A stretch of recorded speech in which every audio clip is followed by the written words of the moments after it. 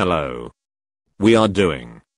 Beat 92nd in desert life in single race.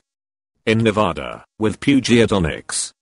And knockdown 25 time.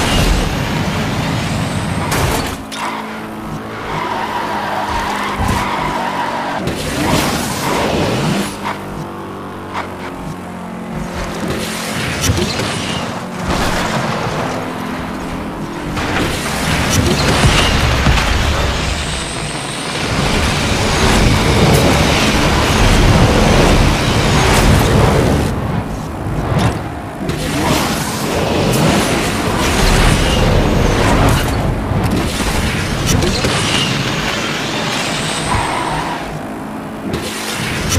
you.